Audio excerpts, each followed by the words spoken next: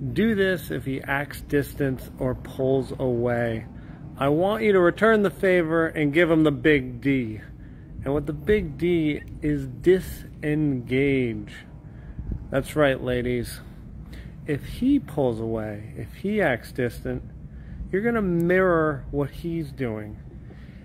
And you're going to have a shift in your mindset that may not happen on the first time this guy does this, or if this happens for the fifth time, but you're going to eventually start shifting your mindset to a place where you don't care. You just really like, eh. Because we get to this place in our dating life where we expect to be treated a certain way. And the moment we're not getting treated that way is the moment we kind of, our brain gets out of it, our heart gets out of it. We're just disinterested because we're only attracting men that are going to treat us a certain way. And the moment they don't, we disengage. So this may not happen the first time. This is something we got to practice.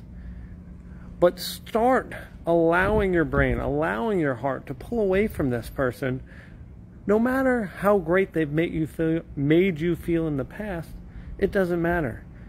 What they're making you feel now in the present is how you decide to allow your brain and your heart to act.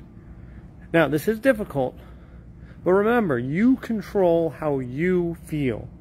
So you can do this, but practice and be gentle to yourself.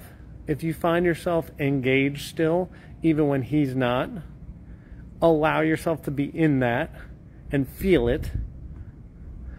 But start moving towards a place where you're like, I don't care because I don't want to be treated this way. I want someone who treats me the way I deserve. All right. If you're wondering what to do next, go to my profile, click the link for the 30 second trick to make a man obsessed.